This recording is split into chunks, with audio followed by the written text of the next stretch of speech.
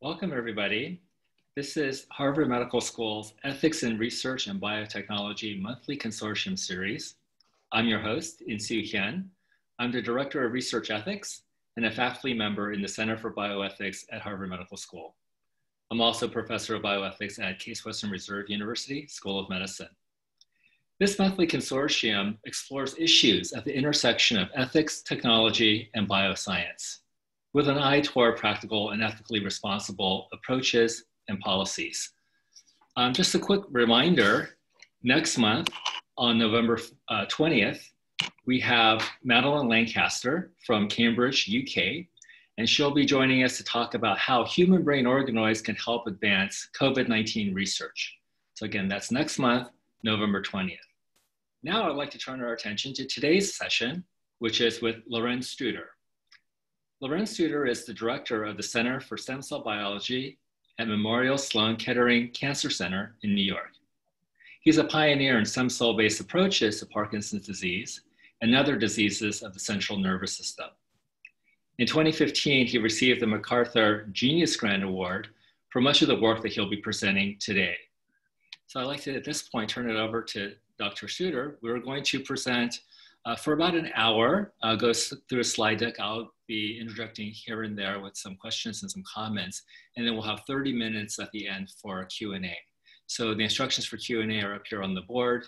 You simply type into the Q&A feature your questions, and we'll get to those as many as we can at the conclusion of the formal presentation. If there are any technical issues, you can use the chat function to send a message to the panelists and the staff members. Okay, so with that, I'd like to welcome Dr. Studer.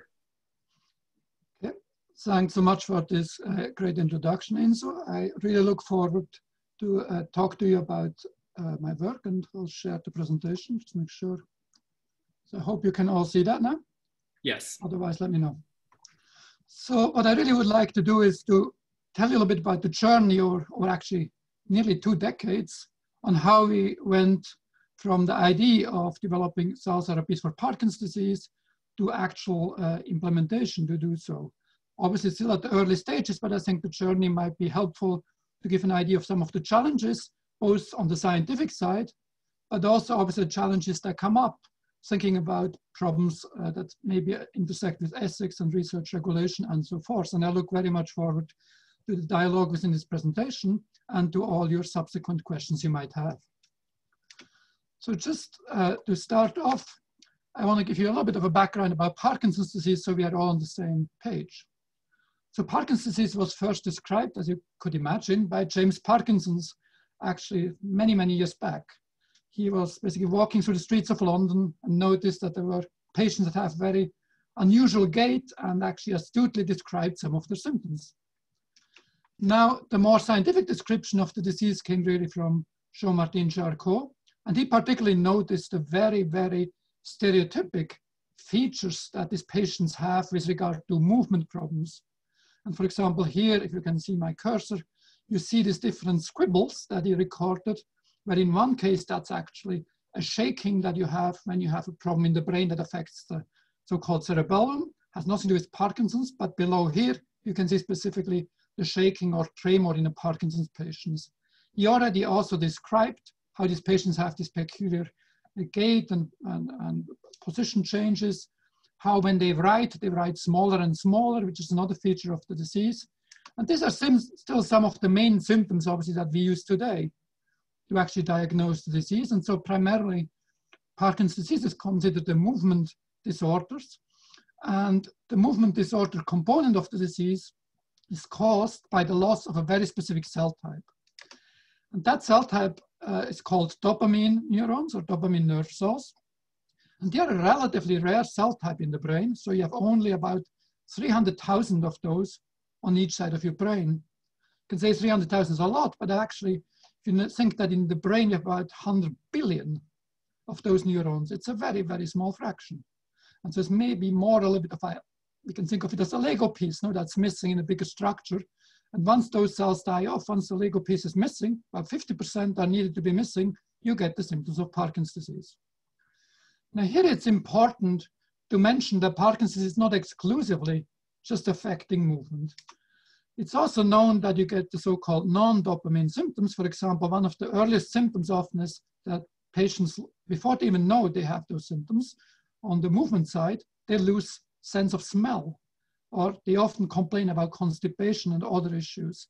And that's often kind of the, the, one kind of reassuring thing. If you have a good sense of smell, not only do you not so much need to worry about COVID, which is a whole other issue, and the loss of smell, but actually also in Parkinson's, that's often happening early, but that is obviously chronic. And so if you have very good smell, the chances that you develop Parkinson's in the next five years is actually relatively small. Now, there is also important to understand there is uh, basically a better understanding of the genetics of the disease. So in most cases, we actually don't have a specific gene that's responsible for the disease. But in rare populations, we have by now identified about 20 different genes that can predispose patients to Parkinson's disease. And if you then look at the cell biology side, you kind of get some kind of an idea of what might go wrong in the cells. For example, one part in the cell that's affected is the mitochondria, which is like the energy factory. That's probably the case because these cells are not only kind of rare, I told you it's only 300,000 out of 100 billion, but it turns out they are giant. So it turns out one cell, one dopamine neuron, if you add up all the processes, is several yards of length, so several meters of length. And each cell makes about two to 10 million connections in another cell. So they're kind of monsters in cells. And therefore, they need to really have a very high energy metabolism, which maybe makes them vulnerable to disease. Sorry. in addition, they also need to clear up all the proteins that generate in such a long cell, which is again the cleaning system that might also go wrong. So there are all kind of ideas about what could go wrong, but the truth of the matter is, so far there is no new therapy available for patients since the original idea of replacing just simply the dopamine that the cells produce. So kind of this fact that we, despite all the scientific knowledge, we still have no satisfactory therapy brought kind of the provocative idea, which really gets us to the stem cells. So the idea is if you don't really know how to fix it, you don't know exactly how to stop the process, why don't you just simply replace what's missing? And again, you can compare it to like if you use your, your iPhone and it breaks, nearly no one ever tries to kind of bother exactly why it broke or whatever, just get a new one. And so that's kind of the simplistic idea. Maybe we can just put new nerve cells in, a couple of hundred thousand doing the job. Now, before we got to the the stem cells, they're obviously already currently uh, useful therapies. And I mentioned one of them, that was a revolution about 60 years ago, led to the Nobel Prize for that finding, which is basically just simply giving the patient the dopamine that's produced by those cells. So this is actually a highly effective approach.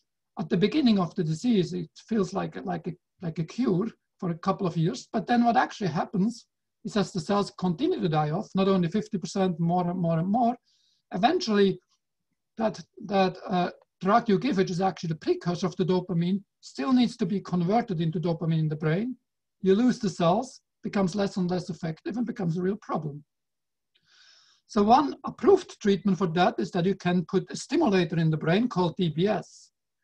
And for some patients that has quite dramatic improvements uh, after the DBS. So when you install this electric stimulator, you switch it on, for example, the shaking that I showed in this movie before sometimes just simply stops within seconds. So it's very dramatic.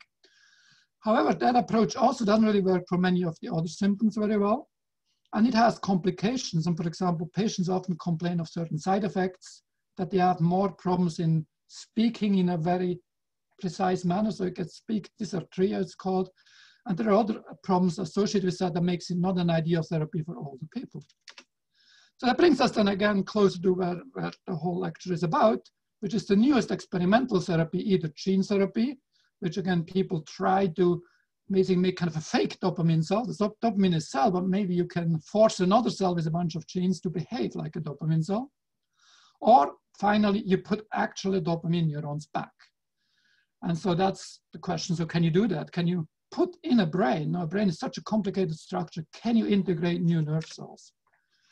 So this actually has been tried and has been tried already for a couple of decades, which is kind of the past as contrast to what we want to do currently or in the future. So it's basically the work using fetal cells. I'm going to spend a bit more time on that in a few minutes. But there were studies that showed that you can just simply isolate from a human fetus from elective abortions, typically six to 10 weeks of age, you can dissect out the region of the midbrain, shown here in, in this cartoon. You dissociate the cells, and inject them into the brain. And if you inject them in the right place, what actually happens is you can stave off the continuous loss of dopamine, which is shown here by this imaging procedure that labels dopamine function or dopamine release. You see on that one side, the patient starts losing dopamine, but then actually uh, looks like uh, in this case, you, this can be staved off, the continuous uh, loss, and actually you get even increased dopamine levels. So that was kind of exciting. And it's also exciting that at least a subset of the patients, and we have to say it's a small subset that we know about, seem to have a remarkable effect. So these are patients that are now 15 years after they got that procedure, and they are off this L-DOPA medication. That's very, very unusual because you have a progressive disease that gets worse and worse. And in this case, they seem to be not needing the medication at all. But obviously, fetal tissue, despite again having started those studies in the late 80s, has never really completely taken off due to some of the ethical and logistical issues. Again, that's something I'm going to go back to in a minute, but just as a contrast, what I'm going to focus on today, obviously, primarily, is using stem cells and there we have to be very careful what I mean by stem cells because stem cells is a kind of a catch-all word for all kind of stem cells. So what we think is particularly promising and at the verge of translation are so-called pluripotent stem cells that are either embryonic stem cells. So these are cells that are harvested from IVF type embryos. So when a couple wants to have a pregnancy via IVF and they have the child, they're happy they don't have additional children. So usually they have leftover embryos and those are used for isolating embryonic stem cells. And that's again a very, very early stage of development shown here by the tip of the needle. This very, very small structure is called a blastocyst, about five to six days of human development. Very different from fetal tissue, very early embryonic stage. Now the other equally uh, promising source are adult-derived iPS cells. That's again another Nobel Prize winning technology but you can now take any, pretty much any cell type of your body. Mostly it's taken blood or skin, but actually you can, for example, even take urine. You can isolate epithelial from urine, put these genes in, convert them, and you get stem cells that seem to be largely indistinguishable from the cells you can derive from those embryonic cells. And then those cells, because they're such an early stage of development, we want to guide them down to make, for example, dopamine neurons. And that's again a, an area that I'm going to go into, obviously, in a minute in much more detail. Lorenz, I have a few questions. Um, so the the graphic on the left represents the past work using fetal cells, and I know mm-hmm. most of that work was done in Sweden many many years ago.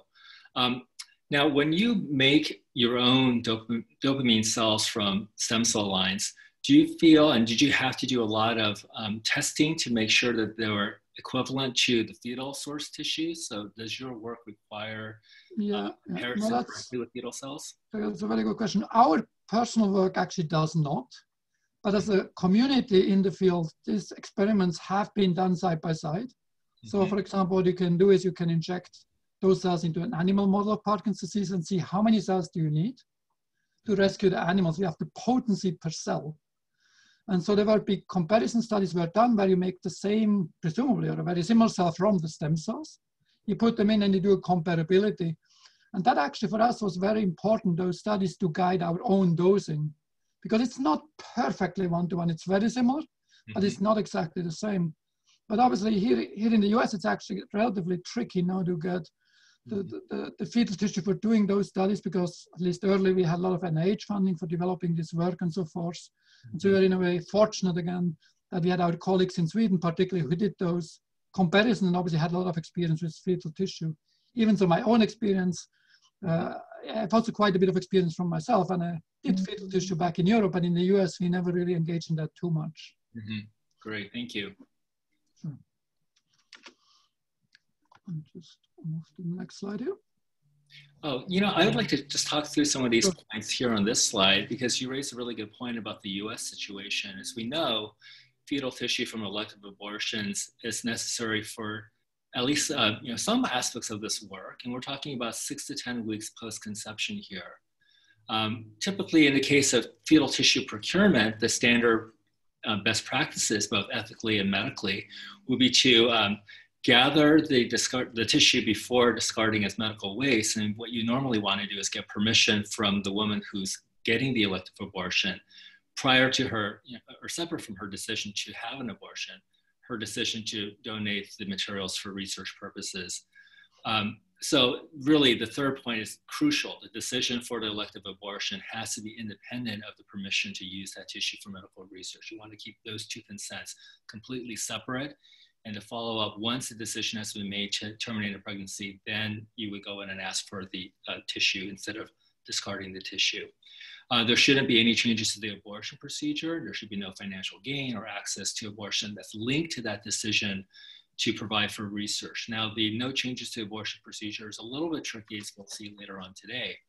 But uh, just in summary, we have three broad sets of challenges. We have the political and the religious challenges, obviously, about right the debate about abortion. This is really a hot topic right now with the uh, confirmation hearings happening on the Supreme Court and, and other uh, NIH funding uh, policies that have just arrived for fetal tissue research. Um, so we're not going to get into the issues of when life starts and the moral status of the fetus, but we do know, obviously, that the religious and political dimensions are very large here. But two other equally important issues are scientific challenges. Um, as Lorenz will talk a little bit further, um, we need several embryos or fetal tissue samples to cobble together to treat a single patient, which means you have to coordinate the timing of these abortions or the collections at least relatively close together to get that sample for transplantation. This is all in the case of using fetal tissue, of course. Um, so, you know, again, there is a need for intact tissue. You might have to have ultrasound guided abortion. Um, and you know, there's a looming fact that there's an increase in drug-induced abortions at home chemical abortions at home, which um, again, you know, is outside the, uh, the clinical setting. Um, and uh, so that's an additional challenge scientifically to gather that material. And then finally, you have challenges to the patient. Uh, in the TransEuro study that maybe Lorenz will touch upon, uh, many patients actually had to stand by. They had to wait to get enough tissue in a sufficient amount for the transplantation. So yet another challenge, not just scientifically, but also from the patient's perspective. And with that, I'm going to just turn it right back to Lorenz. Thank you. Great, thanks. Yeah, so, so again, what, what I focus on is just a little bit kind of from a stem cell perspective, know, what did we really learn from those studies? And so what's clearly important from the studies that were done, including so-called placebo-controlled studies, again, an interesting topic we're going to discuss further, is that this therapy doesn't work routinely very well. No, it's very challenging to get it to work with fetal tissue because, as Insoo mentioned, we need a lot of tissue. We need to know exactly how to inject it. And this was actually done at a very early stage. Actually interesting to know that some of those uh, controlled studies that were done, placebo-controlled studies, were, were, had also nearly to do with the political debate at the time.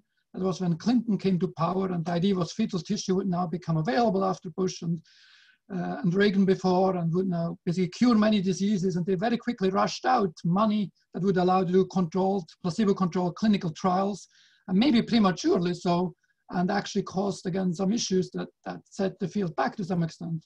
But we still learned quite a lot from this whole experience. And again, what we particularly learned from when we look at the many patients that got these grafts is we know kind of which patients might respond better. That is one important point. And we have certain criteria, for example, that they still have certain what's called L-DOPA responsiveness and so forth, and that they don't have uh, certain side effects of the drug already, it's called dyskinesia, because that's something that has been seen in some of the patients that got fetal cells that actually got those uh, side effects. The other important thing we learned is that the, the design of the trial is very important, very different than what you would do for a drug, because this are, is a living drug and it actually matures. So it takes not only one year, which we thought at the time, but probably two to three years because before they could become fully functional. And that seems to actually play out if you go back and look at the patient's progression. We also kind of made important points about immunosuppression because in some cases immunosuppression was used. In others it was not used, but it's still not fully resolved within the brain what really needs to be done. And that's something, again, we'll come back to a little bit. And then the other thing we learned is that the grafting doesn't really affect other aspects of the disease, which I refer to it as LB, which means Lewy body disease. So Parkinson's disease makes also this, these alpha-synuclein aggregates, which again can be seen and actually are part of the disease, and they can spread to other parts of the brain, very late stages, for example, cause cognitive problems, nearly a little bit like in Alzheimer's disease, even though they are different aggregates. But unfortunately, in some of those patients, even the patients that did really well, that didn't need any drug treatment, some of them, that part of the disease continued. And so that again suggests that if you maybe can clinically or from the genetics predict that the patient is more prone to get this Lewy body component of the disease, but less the movement disease, that might be not the ideal patient. So again, we learned quite a bit from those fetal studies on how to do that, but what we also learned it's not really terribly practically feasible. We have today now something between a million patients in the US, or at least 10 million patients worldwide and so that's not going to be ever a therapy that can be used broadly. So we need an off-the-shelf source. And here, just what I wanted to point to before I forget is that, again, another interesting part from the studies, because they were done, some of them in the 80s, 90s, we had really long-term data. So we know now that such cells can survive literally for 24 years and still make this brown dopaminergic marker uh, pigment after such, such a long time. And so that's, again, evidence that might be really a one-time treatment if you do it right.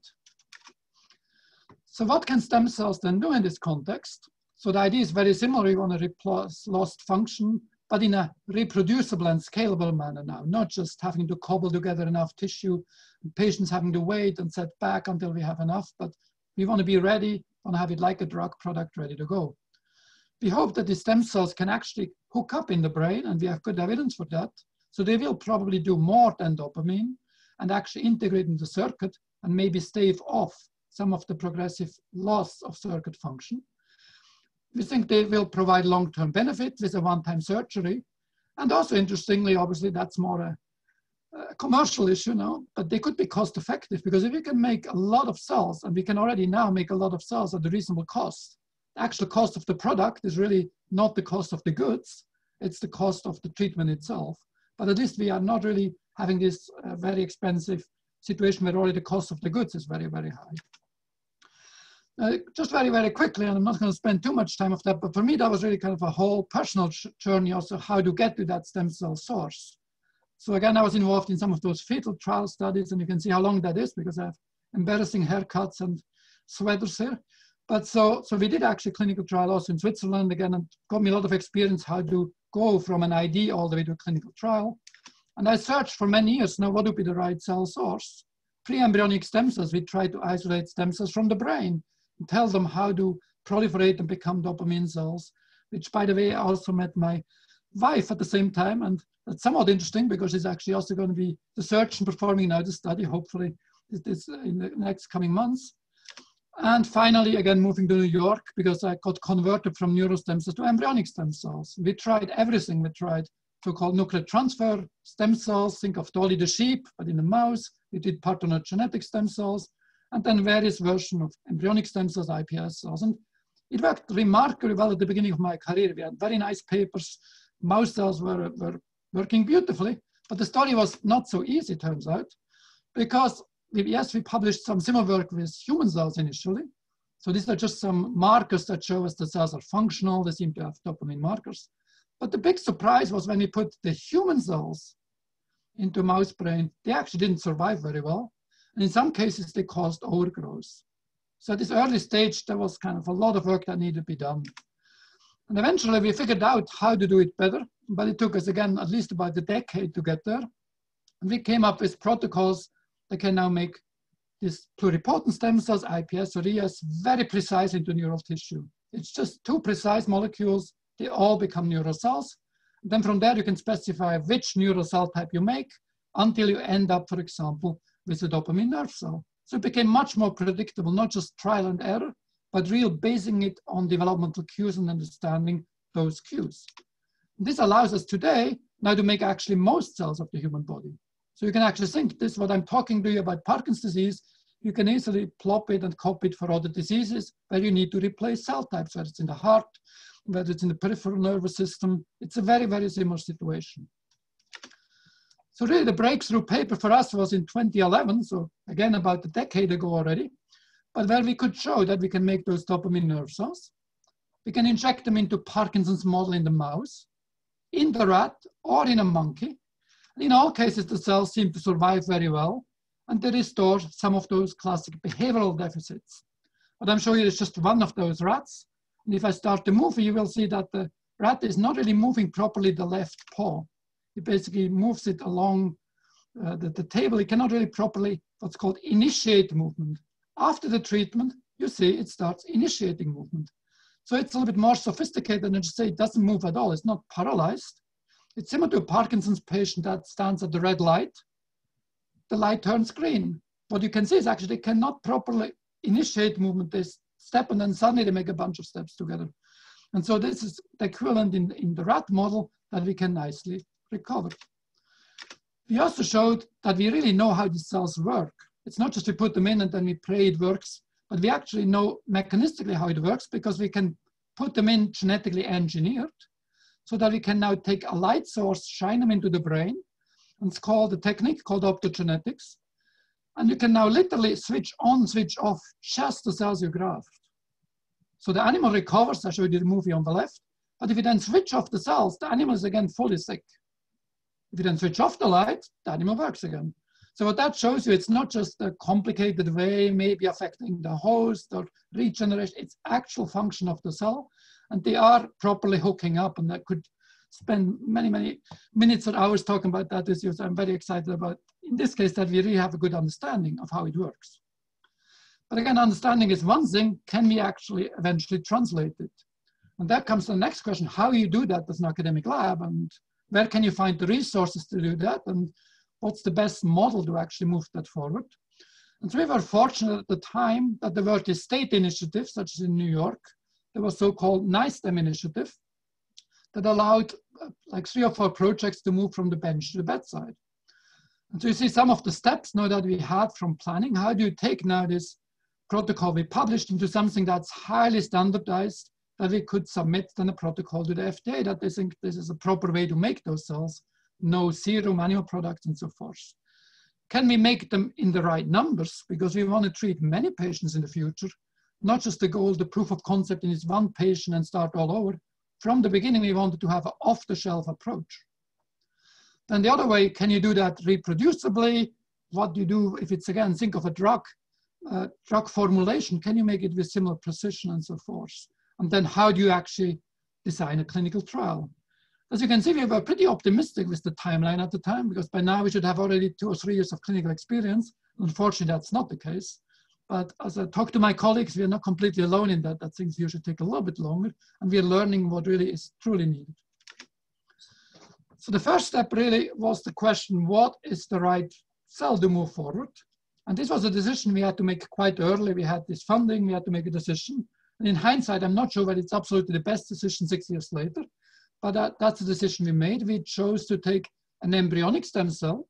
If you remember, we have embryonic IVF derived, we have iPS derived cells. And uh, basically we used that because again, there was manufacturing was already kind of known how to do that. We partnered with uh, WiCell, which is the company started with, or an organization started with Jamie Thomson who first isolated those cells. And we could relatively easily make large numbers of those cells and do all the testing, for example, pathogens that is needed to make sure that the cell line should be safe. But I was particularly excited because we need to make sure that the cells are genetically stable. We don't want to have a risk of tumors and so forth.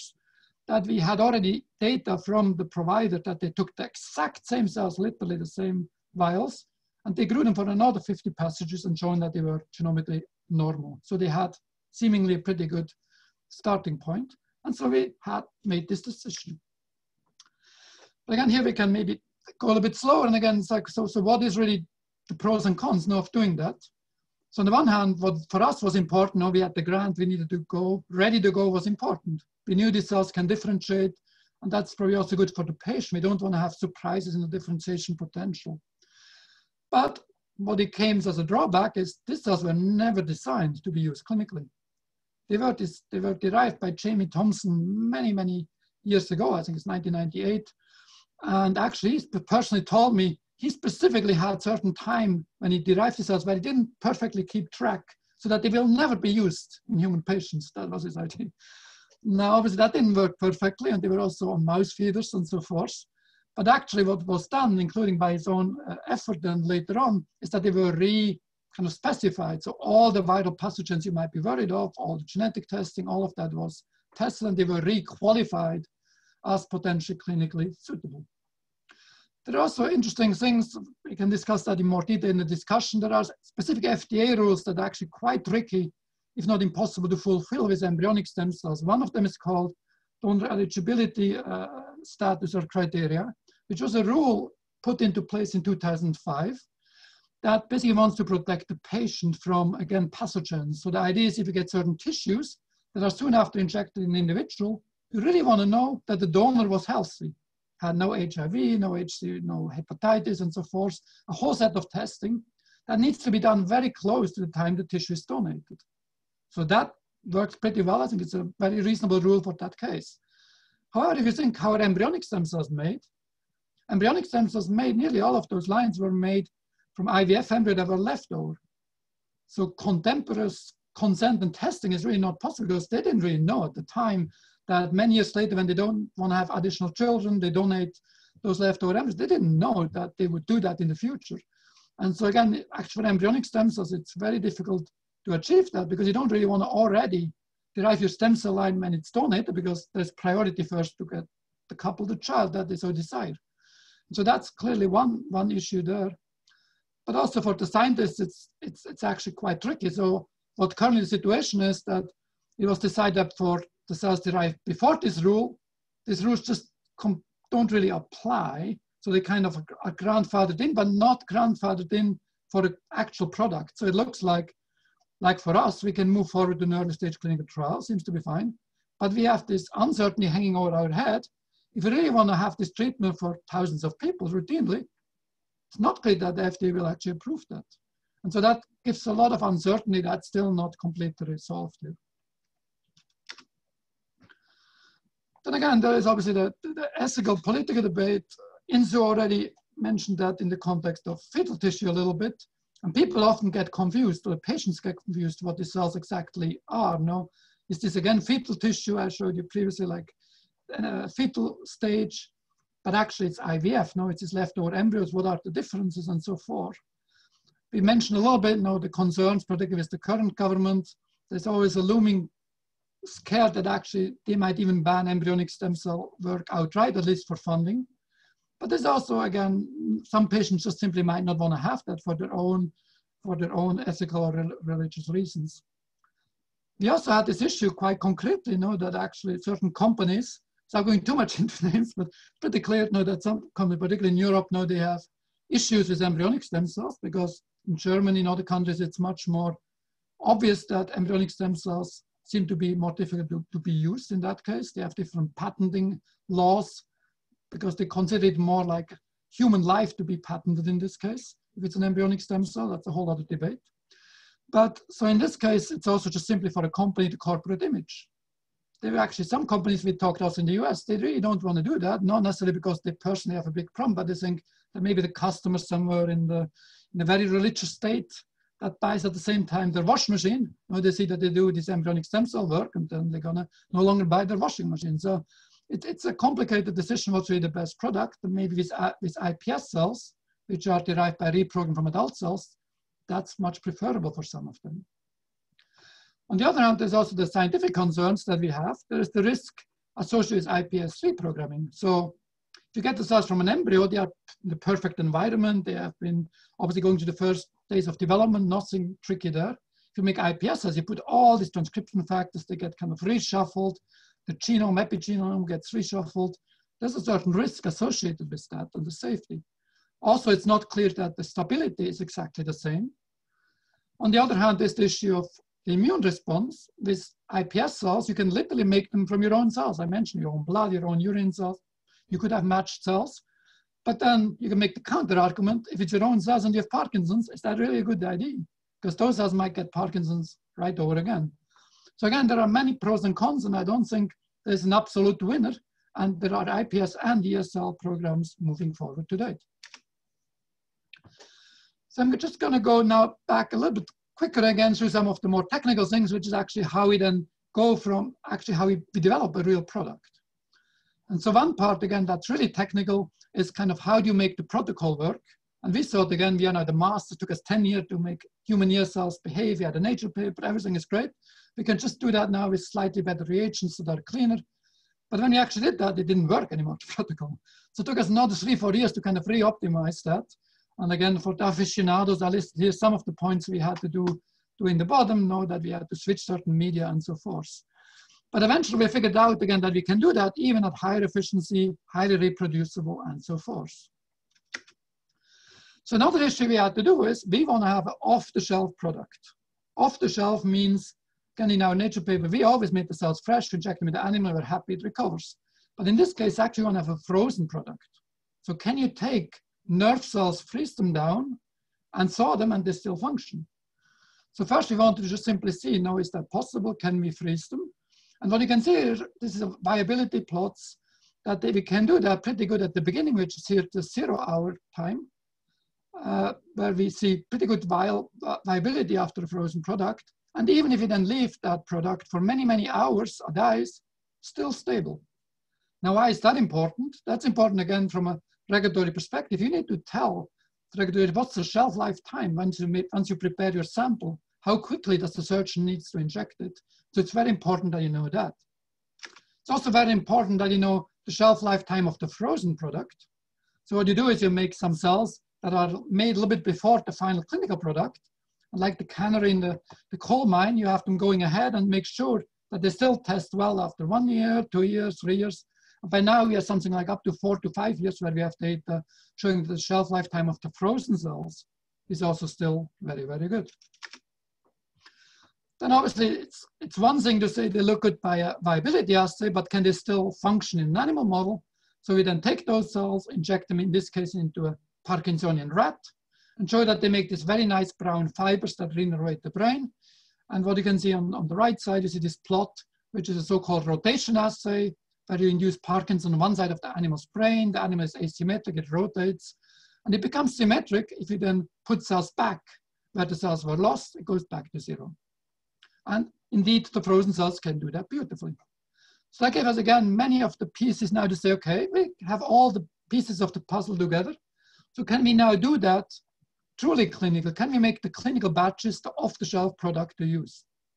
And so we actually did that, and we did that already in 2016. So what that means, we made about 10 billion cells in this very fancy facility, it's called a GMP facility, where you basically had a number of rooms just dedicated for our product. And we made the equivalent, what we think is about 1,000 human doses. Now, we know it's never going to use 1,000 doses from that product, but you actually use most of the cells not for the patients, but for doing all the safety testing all over again with the same product that you want to use in the patient. Again, the cells are cryopreserved. And again, I have here three years, by now it's even five years we have to, or close to five years with the precursor of the product. And again, we have then certain criteria you need to specify to say, okay, do I have the right cells in the, in the tube? That's very, very important. And again, the way you do that is you have to kind of pre-specify how your cells need to look. How poor, how pure do they need to be? For example, here I have an example of one marker. It's called FOXA2, which is a marker quite specifically expressed in the midbrain cells, in the midbrain dopamine cells, Otherwise, usually it's expressed in the liver in other regions, but in the brain, it's quite specific to just those cells. And you can see we have nearly every single cell being positive for that marker. Conversely, for safety, you need to make sure that none of the stem cells are left. And you might know that if you inject undifferentiated stem cells into a brain, you get a tumor called a teratoma. And so obviously that's something we absolutely want to avoid. You want to be sure we have not a single cell left. Problem is it's not so easy to prove that because it depends on the sensitivity of your assay. But so we developed three different assays. Here just shown one, which is a gene expression assay, where it's very small, maybe you cannot read it, but you can see here at the end is actually the expression in a fibroblast, and this is a negative curve, so the higher you are, the less expression you have. So fibroblasts, which are skin cells, they should have none of those pluripotent cells. And you can see that our product is basically as low as, for example, fibroblasts. So we cannot detect any, any cells there in, that are left over. And so the way you can think about it more, again, all of you are familiar if you go to the pharmacy, you know, you get a drug label with information. And so kind of very similar, you want to have information. So how many of your FOXA2 cells are there? How many of maybe the wrong cells, PAX6 cells could be there? And what could be then try to understand now kind of how to formulate that. We cannot do it as precise as a pharmaceutical drug. It's more a work in progress, but that's kind of the goal, no? that you have the same precision of formulating what you need in your, in your vial to actually hopefully help the patient. So now we have the cells, we have all this preclinical data early on. So what do we need now all over again? And how do we interact with the regulatory agencies? So there are usually multiple steps to interact. One is called this pre-pre-IND meeting, which is now renamed as the interact meeting, where you can ask very general questions. For example, for us, it was really the question, is it okay to use this cell line or what, what needs to be done to use this cell line? What kind of testing and so forth? And so we had that already in 2014 and then 2016, another meeting, which really then focused more on the way we make the cells, what kind of media, what kind of factors are the cells exposed, what kind of animal models are we going to propose to test the cells again, and so forth. And that went pretty well. And then the feedback we get is that they were particularly, obviously, a little bit more information we knew on the final, what's called definitive testing. So we have now a product, now we have billions of cells. So let's take those cells and do all the safety and efficacy again. So we know product that's going into the patient's brain was fully, fully tested. They wanted to have also some more device testing, meaning the actual device we put into the patient is obviously not a device you can test in a mouse or in a rat. And so that required actually some limited monkey studies uh, again. Again, these are some of the studies you have to do, so-called GLP studies. So you can not just do them routinely in your lab, you need to do it with a specialized contract research organization, a CRO. The classic ones are tumorigenicity, biodistribution toxicology. Many of them obviously kind of make sense, even though some of them are really more designed for a drug. For example, again, you could argue, is it really as essential to look for liver toxicology, you know, if you put your cells into, into the brain and if they don't get away and so forth. But again, you need to go through all the different rigmarole that you would go also for, for any other product. And then we also had to do a whole complete efficacy study. And if you can see the numbers, obviously these are very, very extensive effort that you have to do, very expensive studies that you don't really hopefully have to do too many times. Again, to just give you a little bit of a flavor again, we don't need to go into details, but what you could show is, for example, again, that the cells really don't really move around much. So where we inject them, that's where they stay. And you can do that with very sensitive assays where you look for human genome copies. And you can see that in most regions, you can absolutely detect nothing, that's just noise. And at the very early stage, maybe some cells travel through the ventricular area or not, but afterwards you basically find nothing in different brain regions or so forth. And so therefore, biodistribution is really restricted where you inject the cells. Equally important is the tumorigenicity study. And there's again a lot of interesting debates now how you best do that and what's the goal of that study. Kind of classically, it was the idea of the remaining stem cells. Even so, as I just told you, we think we have not a single stem cell left. You kind of have to prove that functionally. And one way you can prove it is by, on one hand, injecting obviously completely tumorigenic cells and show that they form a tumor, which they did in our study, or that you put your cell product that obviously doesn't make tumors. But what they also wanted us to do is to actually spike in some of the stem cells. So either at, in this case, 0.1%, 0.01%, to show that even if he had some, that they still seem to not really form a tumor. And again, there's a lot of controversy where this is still really a good assay, because with modern techniques, I think we get much more sensitive than this in vivo assay ever can do. And furthermore, there's the issue now that you can kind of change the condition. You can just put inject human stem cells, but the way they were maintained maybe makes them survive poorly. For example, there were studies from a company called Geron, first company to make human embryonic stem cell based transplantation spinal cord. They claimed that they could inject up to 5% pluripotent stem cells, never getting a tumor. So if we do that, we get massive teratomas because we treat the stem cells differently. So it's then really not a, a reliable assay that can be used for everyone. So that's how that looks. If you have a tumor, it looks like here on the left. If you have a nice graft, it looks like here on the right. If you look for efficacy, we found that we can replace this lost dopamine in this unilateral model. You see this is the grafted cells and they completely restore dopaminergic innervation in the animal. They completely restore this behavioral asymmetry, both in male and in female animals. And we get this very beautiful looking, very mature dopamine cells that look exactly like they would look in your midbrain when you are normal healthy individual. And we can get them actually in pretty large numbers. So in a rat, these are very large numbers. If you remember the numbers in humans, you have about three to 400,000. The rat is much, much smaller than just three or four times smaller. So, so we could get really load up the, the, the rat with a lot of dopamine neurons. And again, the viability helps us then to understand what's the potential dose in humans. That leads us now to the real discussion of, of, a, of the clinical trial. So, so how do we go about that? How do you design a clinical trial for something that's really kind of radically new and not a standard drug, something stays there forever? So you, I'm sure you know about the different phases of trial, phase one, phase two, phase three. And so in this case, obviously you have to start with the phase one, it's the first in human study, but you can call it phase 2A if you want, because we already have some pre-specified parameters where we look for some signs of efficacy. There's no way you can really get statistically meaningful data with such a small cohort, but you can see obviously signs maybe in the treatment group versus basically just a control cohort. So what we plan to do here is to use uh, basically 10 patients and we have certain uh, uh, inclusion criteria and exclusion criteria. Some of them go back to what I told you about fetal tissue, where we learned where this therapy might be more suitable. You have to think about those levels, and we have now a lot of experience where we know how well these cells survive.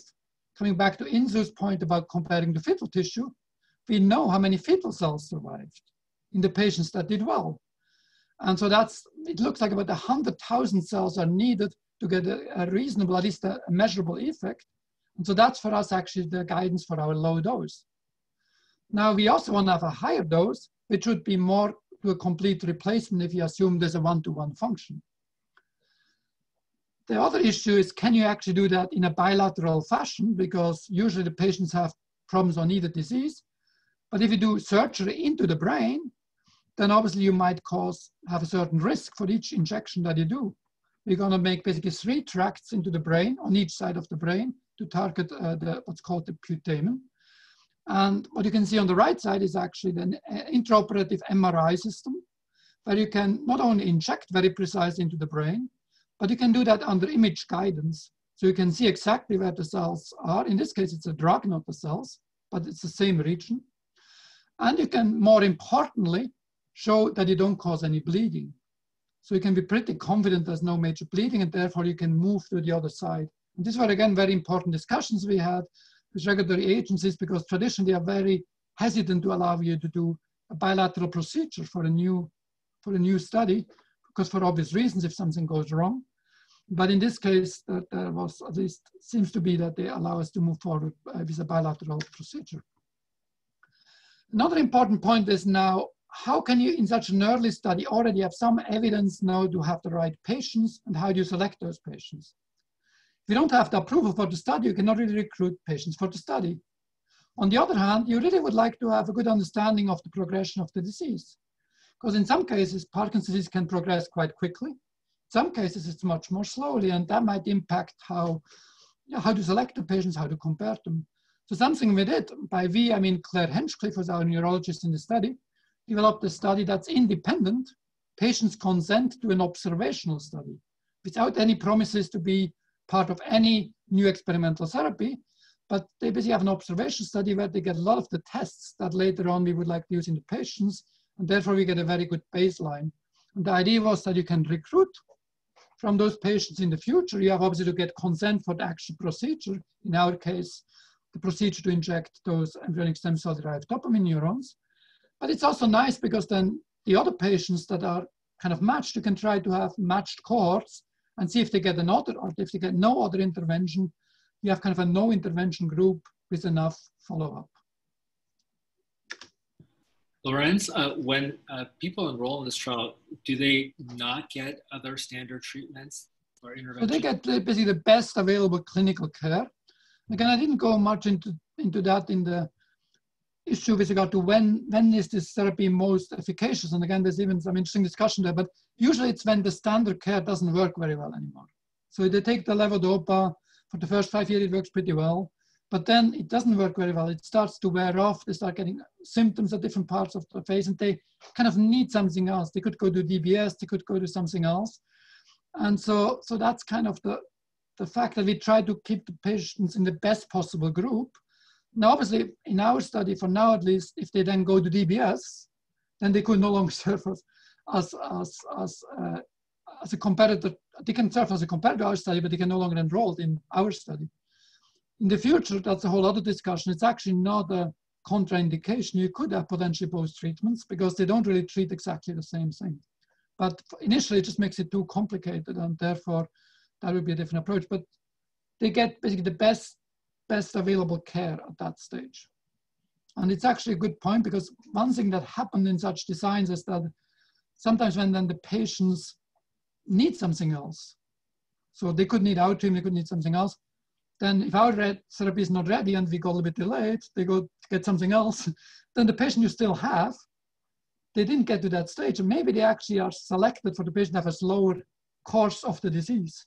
So it might actually potentially skew a little bit overall population. So there are interesting discussions know how good that model really works. But that's what they decided to do. And it also will allow us to move more quickly to actually have patients ready, assuming that some of those patients seem interested in this approach they would have already some of the imaging, some of the testing done, so we don't have to start from the beginning. Now, if you think about clinical trial design, there are also some interesting points that come up there with regard to conflict of interest and regulations. And so one issue that we came up is now the issue, who should really be the PI on some of those trials? And I come back, I should have had my conflict of interest slide one earlier, but I mean, we've started a company called BlueRock Therapeutics, and got bought by Bayer and so forth. And my wife is also co-founder of this effort as a neurosurgeon and has developed all the animal data, is obviously very qualified, knows exactly how to do it and has all the expertise. But she cannot really be a PI on this project because she would have a conflict of interest. But then you have to train someone else who basically doesn't have the same skills in doing it. They have to be completely coming from new, they don't understand the cells very well. And so there's interesting conflicts that happen. And the question is, can it then maybe not be the PI, but still do some surgery? And so these are very interesting discussions that we had with some of the, the oversight boards. Another point is that the regulations know if you design such trials or even the cell product itself are actually not consistent across different regulatory agencies.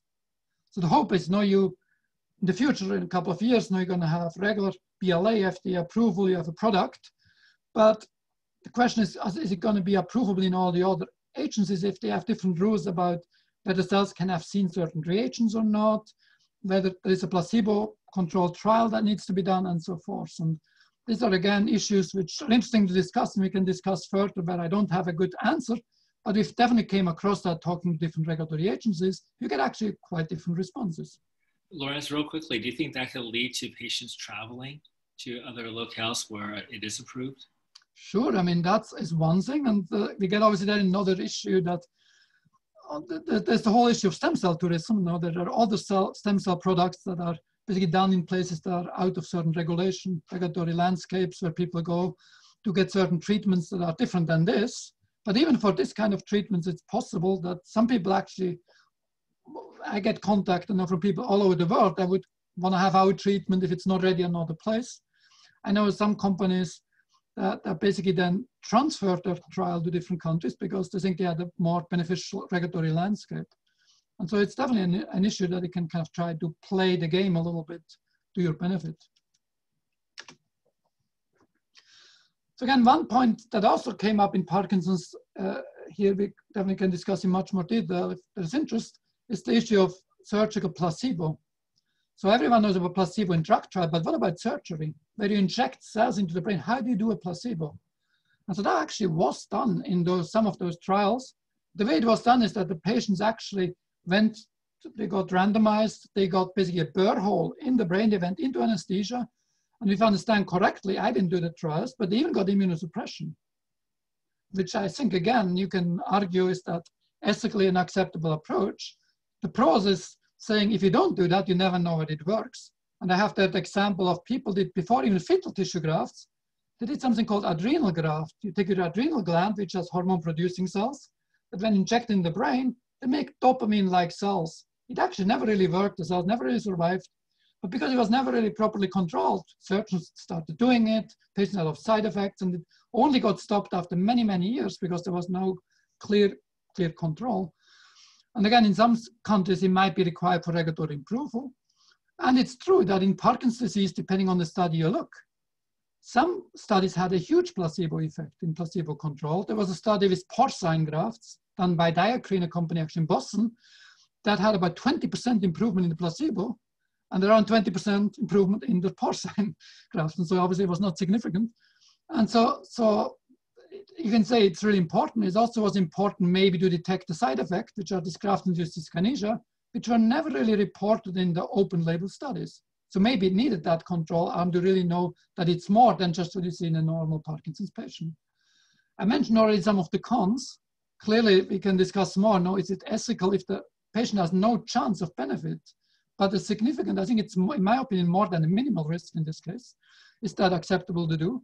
Then again, it also prevents them often from participating in trials that, that might actually give them a new therapeutic window, maybe gene therapy trials, DBS, and so forth. And the other argument that's made often by Roger Barker, who runs the Trans-Euro trial, no, if you really need that placebo trial, maybe it's not even worth it because you really want to see a massive effect. You want to see that they don't need levodopa 10 years later. Now, that's not a good endpoint for a clinical trial, but there's no doubt no, that it worked in those specific individuals. And also, if it's used prematurely, it can actually set the field back. And I just put here this one. I dug out the New York Times front page, it was actually at the time, when the placebo control, placebo control trials came out, Gina Kolata wrote this piece on the front page of New York Times saying that really it was, was a real setback. And there were even other quotes that are much, much harsher than that from, from a cure to disaster or something like that. And what really happened is now that these trials were poorly designed, they had weird endpoints and so forth. But because they were placebo controlled, they really set back the field for many, many years because it was now proven it doesn't work. But, but so again, so there are, these are some of the pros and cons of thinking about that. I think they might have a place, but they would have to be done in, in a reasonable way. And they would have to be done with, with tr truly minimal risk.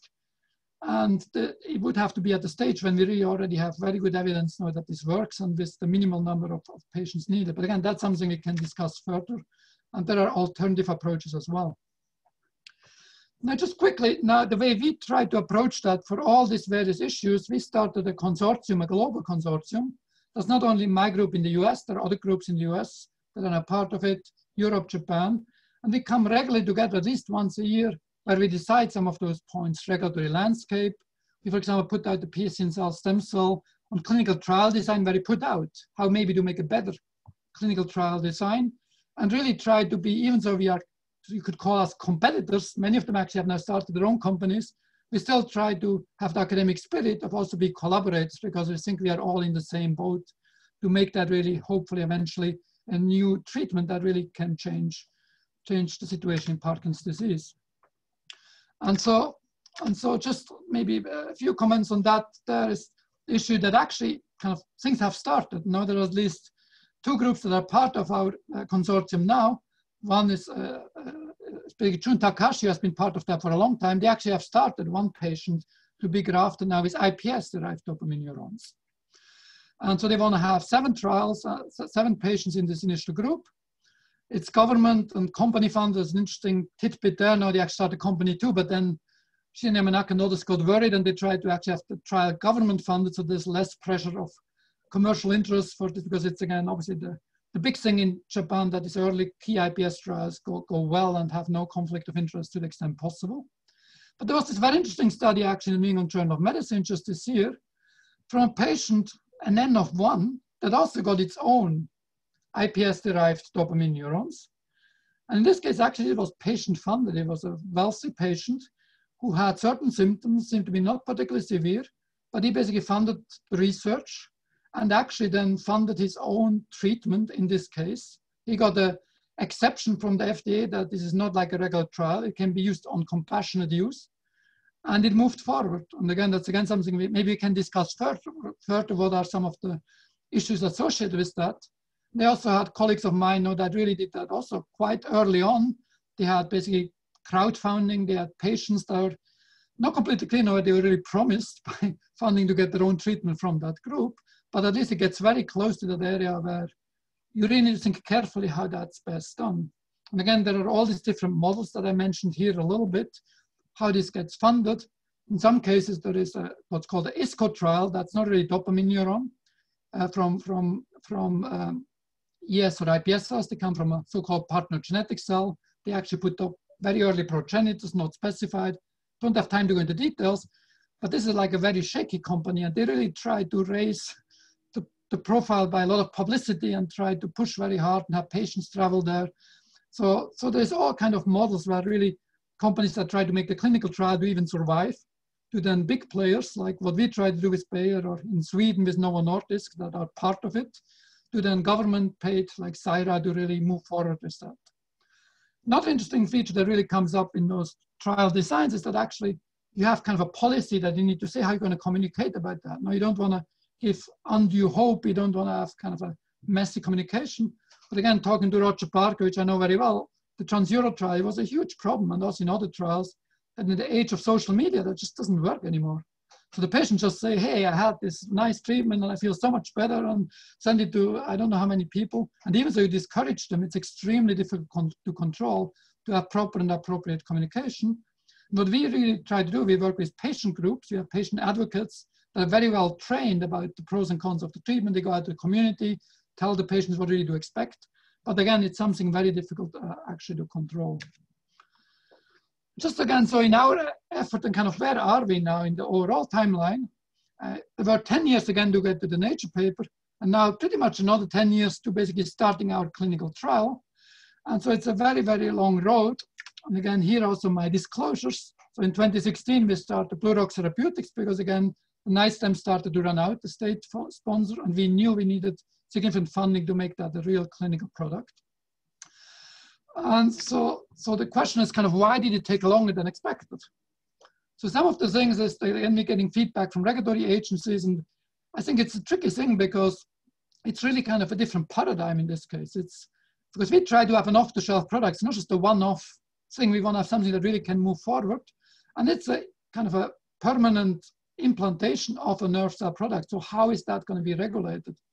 We know very well our cell product, but can you be sure that this really every single cell exactly the nerve cell you want to have in vivo? We think we can at least characterize like 98 or 99% of the cells, those neurons, but there might be a few cells that are not. They're probably perfectly healthy, normal glial cells and so forth. But there's a lot of thought that goes into how do you specify that that's really safe. So we did a lot of uh, additional work to really convince everyone that this is safe. And then also the patient group. What's the best risk benefit? Is again something maybe we should discuss further in the discussion. And again, typically the FDA is very conservative. They want you to go to the most severe patients for a first human study. But those patients have also the least chance to benefit from it. And they might have other features in late stage that makes them much more prone to have side effects from the treatment as well, surgical and so forth. So it's a very tricky thing. And again, something we are going through very quickly. And we are, uh, we are indeed literally at the verge of actually uh, go, getting hopefully the final word so that we hope we can start either by December or January of this year to actually start with our first, first patients. So it's a very timely presentation because we think we finally are at the stage to actually implement all of that. Now just maybe two, three minutes about the, the future, because again, one thing is to make that early product, it's already off the shelf, but if you actually want to make a commercial grade product that can be used for very large number of patients, you need to again go several logs up in the production capacity and you need to have something which is called in vitro potency. You cannot always go back to a mouse and do a nine month study and see that it works. You need to be able to predict from the cells themselves, are they potent or not? And that's actually a difficult job. Then the other thing is that we think we still give the patients immunosuppression at this stage for at least one year. And I told you there's a bit of a controversy about to what extent that's needed. But we had several panel of immunologists, ethicists, clinicians, and so forth. And the consensus was to give the the initial graph to get the most information and the relatively limited risk for short-term immunosuppression. Still the best way to go for 12 months with immunosuppression, but that has certain, certain risks to the patient. And the future for the complete off-the-shelf product could be a cell that's no longer immunogenic at all, that can be engineered such. And we've already done that, at least scientifically. And so that leads and again to the point, so what would you do beyond phase one? And so one interesting regulatory issue there is that for these medicines, there has been kind of a, a, a, situation where you can get what's called RMAT designation, which is regenerative medicine advanced therapy designation, early on after a phase one study. So phase one study has some evidence, not exactly defined what it means. It's the idea of the breakthrough without really defining what the breakthrough exactly means. You can get this RMAT designation allows you more quickly go a phase two study, phase two, 2B study in this case, with maybe 60, 70, 80 patients. And that study could be enough to get you a biological license application approval for actual broader commercial use. So you would not have to go to full-blown phase three study before you could sell it as a product. That's this RMAT designation. That's exciting. It might make things go faster, but obviously it has also risks uh, in certain ways, which again we can discuss further. But it also brings the point that you have then to be ready for such stuff, and you have to be ready for a commercial grade uh, type product. And again, we get then to the question for this kind of studies, what control groups are needed? What do you compare it against? Some people get DBS, is a good control group? How do you perform a complex multicenter study with, with such patients? What's the number of patients? Can you implement new designs instead of placebo? So something is called adaptive trial design, which has been mostly used in cancer therapies for testing multiple drugs, multiple doses, very quickly within one trial you basically pre-specify a scheme where you not just conduct the trial, but during the conducting, you have pre-specified points where you review, and then you're allowed to adapt it if you have pre-specified the possible adaptation. So it makes it statistically much more complex, but has been very successful in certain areas to really get a therapy much more quickly. Because if you think here, if you need to wait, I had the data there, one year is not enough. You might need two to three years before you know it works. You cannot do three, four trials, one after the other before you get there. So we need to be creative in, in the trial design. And again, I'm not going to spend much time about that, but again, our vision, again, that's my personal vision, but also the vision of, of BlueRock is that we actually would like to develop universal cell technology as a true off-the-shelf, as a true off-the-shelf product. And again, this is just a final future-looking slide. The point that I'm trying to make here is my lab hasn't really stopped working on the basic side on dopamine neurons. The protocol, the GMP protocol was established set in stone, made an SOP in 2015. But five years later, we know actually more. We probably can make a better product. So why do we need to give the patient a worse product than the better product? And so how, how can you bring that back in? Or do you need to go all the way back and then do all the trials again? So that's the idea. Can you do basically comparability studies that are acceptable if they meet all the release criteria we defined? Is it okay to go with those lines? And again, I'm happy to discuss some of those points later, later as well. So just as a summary, I think what I tried to tell you is kind of a story how we got there to show that cell transplantation could present a novel therapeutic option for PD, that we can now definitely technically make those cells at high efficiency. We can rescue various animal models. We can make them off the shelf. We have clinical trial design. And again, the trial now is, is literally imminent. And we have many ideas for the future there. And we think again that what we've learned here, we have access to many other cell types. I'm happy to chat about that another time now. We have many other uh, diseases that we think could be addressed and each of them with its own uh, benefits and, and challenges. And just last here, I have some of the key people from the lab. I'm not going to go through it, but just mentioning here the consortia, the NYSTEM consortia that was really critical here. And obviously now working with BlueRock to really getting that to the clinic. And herein highlight some of the the postdocs and students that have maybe contributed the most to our dopamine uh, project. I'm going to stop here and hope again we can have an interesting discussion. Thank you so much, Lorenz. Uh, while we're getting the questions sorted out for uh, the discussion, I just have two quick questions for you. Uh, one is, your approach does not address the non-dopamine symptoms of Parkinson's disease. Do you think that's a big limitation to your approach? I think so. I mean, I had actually that listed here. I rushed through it a little bit. So there's the non-dopamine symptoms. There are various non-dopamine symptoms. And the problem in a way is that with a cell-based approach, you it's kind of the Lego piece. Now you can make multiple Legos. For example, we have very good techniques to make enteric nervous system. So these patients can have very severe constipation that can dramatically basically reduce the quality of life. For a completely different application, we develop enteric nervous system transplantation paradigms. And you could imagine once that's ready in those severe diseases, it's very safe. You could add that on top. And so there are a few cases where you could imagine doing that. And but for, for example, the Lewy body disease, no, I don't think that can be easily done in the cortex. But even there, there are cell-based approaches interesting too. Now you can combine cells with genes. You can change inflammation within the brain by introducing for microglial cells. So there are interesting ideas there where in a piece by piece manner, you can try to treat that. But on the other hand, I mean, also excited and we're using stem cells a lot now to understand what the disease is all about. My iPhone analogy, we're still interested why the iPhone breaks. No? And so, so we actually use stem cells very intensely for that. And so ideally what you would have is you would find something that really mechanistically slows down the disease at the stage where you can replace the cells that are already lost. And that would be probably the, the ideal situation.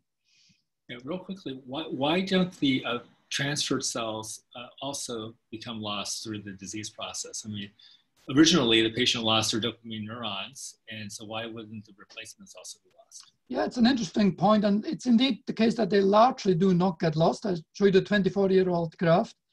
It's it's 90% true. So it turns out that you get some, in some cases, actually some signs of disease in the cells after 10 to 15 years. You can actually get some of those Lewy bodies in the graft, which is again very interesting mechanistically, because it suggests that this disease can spread. It's very unlikely that those cell lines had Parkinson's disease. So the disease probably spreads and leads us to the prion hypothesis of Parkinson's disease. But the bigger picture, to what you bring about is the interesting point that when you make embryonic stem cells or you reprogram iPS cells, those cells go all the way back to this five to six day old embryonic stage. When we graft the cells, they're probably the six to eight week old fetal-like dopamine neuron. And as you know, there's no Parkinson's patient that I know of that gets the disease when they are five years old or 10 years old. So for the five, 10 years old, they seem to go chronologically at that stage. And there's really cool data you can actually look at that. You can you get a pigment in dopamine neurons when they get old. So when you're very young, it's like the trees in a the rings in a tree. You get more and more pigment the older they get. And you actually find if a patient dies, car accident, whatever, had a fetal graft, after one year has no pigment. If the patient dies five years later, has a little bit of pigment, dies 20, it has more pigment. So they seem to age somewhat chronologically according to their age of the cell and not the age of the person that actually receives the graft. Oh, that's very interesting. Um, so I want to turn it over to our moderators and they can lead us through some of the questions that have come in. Um, we're happy to have Lorenz address as many of those as possible. So why don't you hit us with the first few questions. Great. Uh, thank you so much for the presentation. The work that you're doing sounds super intriguing and very promising.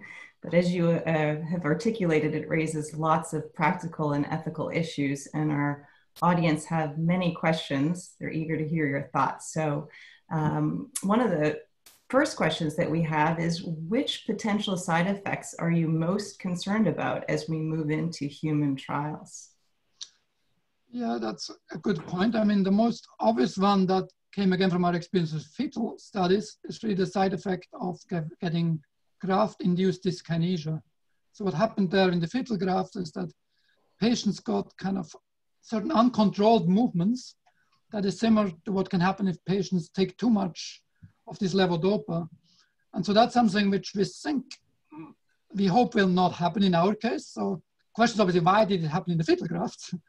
And the answer seems to be that it was likely not just the dopamine cells, but some other cell types within the grafted cells, which are called serotonin neurons, that can take up the same drug, the levodopa, but they don't release it properly, release in an unsynchronized manner. And so it was kind of recreated in some of those animal models. Fetal tissue has nearly as many serotonin than dopamine. In our case, we have nearly zero. So if that's the reason, then we should be fine. But is it really the reason? We, the, the, trial is going to tell us. So clearly, I think that's something we need to look about is graft-induced dyskinesia. And then otherwise, it's difficult to say. I, I don't really have a, another very obvious concern. Obviously, we want to make sure that it's safe with any first in human study. You know, this, this remaining cells, now that they're are they exactly the same as the fetal cells? I personally think there's no additional risk from what I see, but you can always make the argument now with cells that have been grown in a dish. They're not plucked out of a fetus. What about 10, 15, 20 years later? And is that maybe it's not a problem because advanced Parkinson's patients that, that we want to treat, in average, sadly, the life expectancy of those patients about 11 years.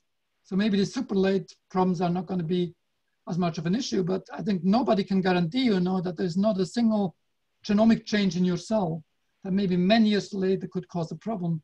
Now our cells are 99% neurons, which is pretty good, but there's maybe a few other cells that are not neurons, and maybe those would proliferate or would do something. Again, I think it's very unlikely, but it's still something we have to worry about, definitely. And we have another question that's actually pretty similar um, in terms of clinical trials. Um, so this actually comes from Christine Mitchell. She's wondering, uh, I see you do not do large animal studies. Um, is this because of ethical concerns related to research on primates?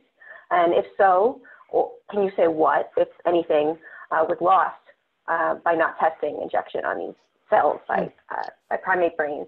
Um, and con conversely, if what would be gained uh, by preclinical testing on primates? Yeah, so I mean, I and she's wondering more so about the safety um, as well as clinical effectiveness. No, I think this is a very valid point, and that's something we actually we did do some primate studies, and we did them early on or in the initial publication, but focusing mostly on kind of the scaling, because the primate brain is obviously much bigger than the mouse or the rat. So can it translate? Can they still reach the whole structure? So for that, it was very helpful for us to really see the anatomical integration of the cells. And the other area where we did use some primates, uh, primates uh, is in the context of the device. So we actually did test our final product in six, six monkeys together with the CRO, and we inject them with the exact same MRI guided injection device. We had actually the surgeon going to, to the CRO, doing the, doing the injection exactly there to make sure that it works smoothly, the cells survive. So I think for that, primates are still indispensable because they're the closest to what we can do to compare to the human brain. And even the frames that we use, the surgical frames, can be actually generated, uh, can, can be modeled exactly the same way. So that's very good. The reason why we didn't really do kind of an efficacy or a large scale or long-term study in the primates, which our colleagues in Japan did, Jun Takahashi focused on that approach. So different countries, different approaches, is on the one hand, we, it was not required by the regulatory agencies. And the US is actually somewhere in between. In Europe, they, they nearly abhor, I mean, they do very little of primate studies at all. So they actually, they pretty much zero in, in their effort to move forward within our consortium. In the US, we did something in between. We did some for those criteria I mentioned. In Japan, they did most of their kind of final studies in the primates. The problem we don't like to do much has not so much to do with ethical reasons, even though I think one has to be very mindful of that. If you if you watch monkeys and their behavior, no, it, it, it's it's eerie, know, how close they can be to our human behavior, and I think we have a special responsibility. But there is also the issue that exactly because of that, you cannot do the numbers that you would want to do. So if you talk about safety, you can do maybe five, six monkeys and you get approval and do that. But in, in the rat and the mouse, we did 400 of them. So if something happens that's really rare, something that happens kind of in a freakish way, you can capture it easier in some of those models. And same similar to behavior, the Parkinson's model in the monkey, it's a bit more shaky. You can make this what's called MPTP monkeys, but it goes over a long time, you inject these drugs, and sometimes the monkey spontaneously recovers. So it gives you more noise in the basal readout. And therefore, with that noise, you need even larger numbers to show good efficacy. And so these are some of the reasons why we didn't really push towards an efficacy study in the monkey, but only use them for like anatomical integration, injection device, something like that. We have a question about immunosuppression and using immunosuppression. How intense would the regime be and how risky might that be for a patient? Yeah, so we have a regimen that we kind of tuned down a little bit. So it's primarily tacrolimus. That's the, the main reaction against these responses. And then we have a short, uh, a short treatment with, with steroids, relatively high dose and then very low dose steroid maintenance up to a year. Initially, we had some other drugs as well. And so we, we basically reduced those because they seem to not make a big difference in the models we checked. But even that treatment can have clearly a risk. And there was again a big discussion about that. It's, it's only happening for one year. So there's the, some of the common risk now if you have a kidney graft or liver graft, often these are long-term effects where you get toxicity in your kidney or in other cases. That I think is a, is a relatively low risk because again, it's short-term treatment. But still, some patients will get complications. And there are statistics out that say for some of these immunosuppressive treatments, there's about a one year, 1%, sorry, a 1% risk of some malignancy that you have if you do one year of treatment with such immunosuppressive treatment. So if you get 10 years of treatment, maybe you have a chance, a 10% chance of getting some leukemia or something like that down the road. And so one definitely needs to be mindful of that. It also requests a lot from the patient because you need to constantly check the drug levels so that it's safe and so forth. So it makes it much more difficult for the patient's life. Some of those patients are not terribly mobile. And so that's one of the reasons why we hope that eventually we have this universal technology where you don't even need to use that. On the other hand, there's again the interesting discussion. There's Curt Freed was again one of those PIs who did a fetal grafting trial. He did add, he added no immunosuppression to any of the fetal grafts. He still had many years later surviving dopamine neurons. Now, if you look at the numbers, it seems to be at three times lower. So it's again a little bit tricky. It's not like that cells seem to get rejected, but they probably survive worse if you don't give this one year of immunosuppression. That's why we chose it. But again, with the, with the risks that have to be balanced that I just mentioned. So there's also another question, um, kind of looking into the ethical considerations regarding fetal tissue and embryonic stem cells, um, aside from religion and politics. So secular bioethics has not produced an ethical consensus regarding nascent human life. Um, the ethical debate centers around the tension between utilitarian and outcome-based ethical framework and a, I'm sorry, and a framework that favors uh, Kant's categorical imperative that human life should not be used as a means to an end. So how do you and your colleagues balance these views? Lorenz, maybe I can take this one to begin with. sure, sure. yeah, sure. So, so these are valid concerns about secular bioethics and whether secular bioethics can really wrestle with deep questions about the meaning of early human life and the use of human life for scientific progress. I think in the case that Dr. Studer just presented to us, a lot of those issues are sort of not quite uh, uh, triggered or, or engaged because he's talking about cells that are prepared from uh, uh, adult cells that are transformed into stem cells and then differentiated down into dopamine neurons. So the line of work he's involved in and, and the cell product that he's testing and developing, it doesn't come from a fetal source and it doesn't come from an embryonic source, uh, although the studies are informed, of course, by that kind of work. But this, this this type of work, I think, could easily be supported by people who come from many different spectrums of beliefs about early human life and the morality of embryonic stem cell research and abortion. So that's point number one. But I also think that it's also important for everybody to consider in secular bioethics that there is, whether you are as a person referred to, a utilitarian or a Kantian, uh, that there is a deep commitment to wanting to reduce human suffering and to do the best you can for patients in great need, no matter what your religious or philosophical orientation is. So, in light of those two comments, I think that um, you know we can we can safely say that there is a place for those concerns uh, generally, but in the kind of research that Dr. Studer is doing, you know, I think that we need to really focus on the good that it can do for people in the future. I don't know if Lorenz, you want to add anything more to this theological or philosophical issue that's come up. I mean, obviously, as you mentioned, it has been used for a long time. And I think, again, the fact that we can derive iPS cells has alleviated some of those concerns. And again, one could have a long discussion now with regard to embryonic stem cell or fetal cells. What's, what's the pros and cons and case and how? We had some of those in the slides now with regard to, but it's a good thing to have yeah. tissues used but, for, me, for medical use versus, again, right. versus, versus uh, basically having them go to medical waste and so forth. And for me, it's an interesting thing because I'm actually a raised Catholic. My my mother uh, was teaching religion at school, so we had a lot of interesting discussions throughout my life. Now, what's really acceptable and what's not acceptable. But I think again, the fact that we can now make such cells pretty much completely independent of any having to isolate any tissue, I think that really kind of changed the game. It's really now more like a, a renewable source where we don't need ever any fresh tissue anymore. So that's kind of the the, the main point that, that really changed, changed the game.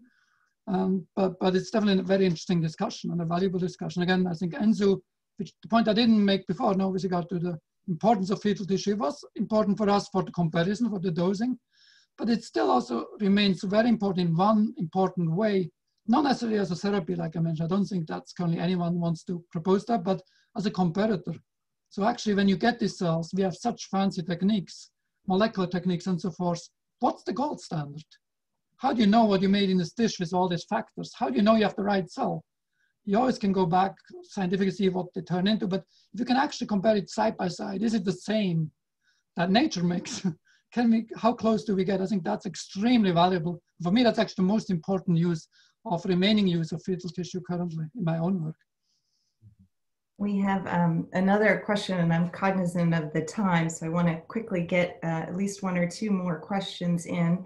Uh, you mentioned a little bit about the placebo control group um, and conducting what would effectively be a sham surgery and the ethical questions that come with that.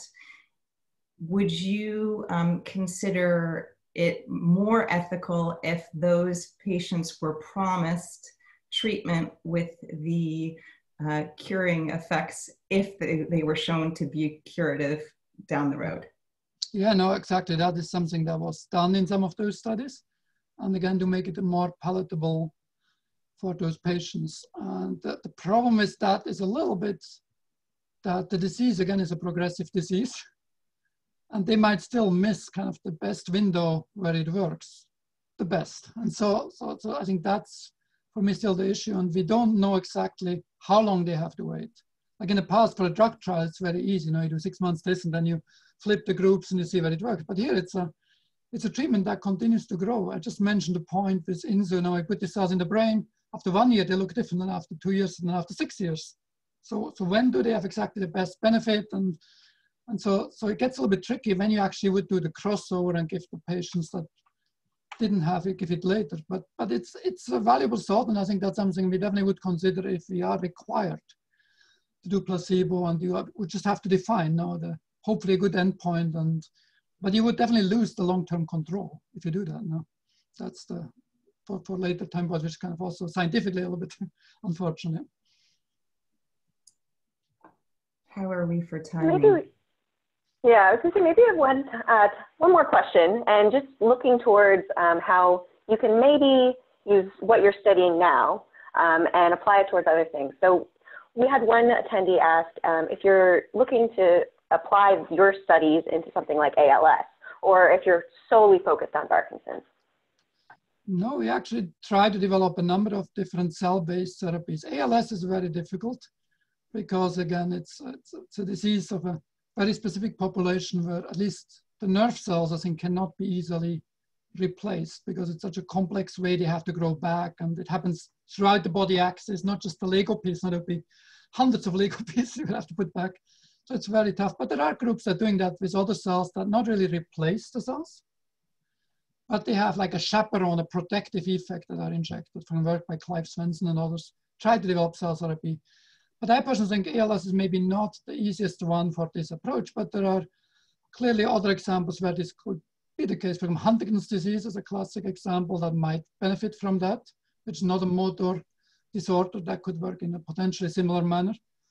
Or we have again certain childhood related diseases. I mentioned in the enteric nervous system, which is in your gut. Children with Hirschsprung disease, that's actually something we try to develop in actual trial currently we had also got a nature paper showing that this can work in a mouse.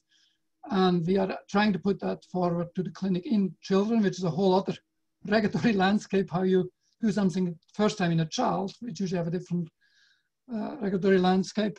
So I think this approach will come about in various ways, and I think it will also change a little bit from this simple, maybe not so simple replacement idea, but actually combine it with gene therapy. So there's now quite a bit of success or promise, at least in gene therapy. And at least we think that the combination could be even more powerful, that he would put the cell back to replace, but he would also hopefully stave off further disease.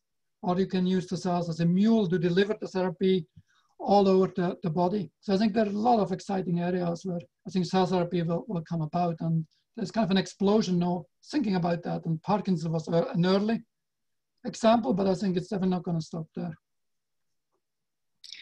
Well, with that, we are out of time. I would love to thank our audience members for joining us here today. This event was sponsored by the Center for Bioethics at Harvard Medical School, and I'd like to thank in particular Ashley Trautmann, Angela Alberti, and Kristina Larson uh, for, for their uh, help in this session today. Join us on November 20th for organoids and COVID. Uh, I would like to then thank our speaker, Lorenz Studer, for joining us, and uh, Thank you so much for your stimulating discussion and your presentation. We really appreciate your time. Thank you everybody for joining us. We'll see you next month. Thanks so much.